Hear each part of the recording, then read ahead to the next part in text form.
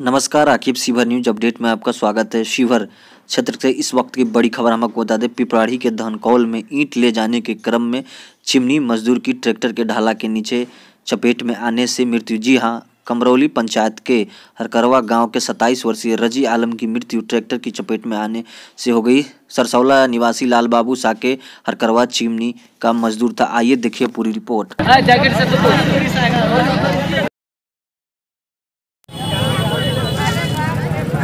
jacket से तो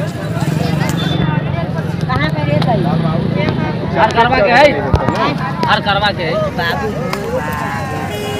रे रे रे नहीं सही बड़ी हाथ मारे ले जो करवा के है बगल चला चिन्ह ए आई हो मेरा आदमी हो ए जैकेट से तो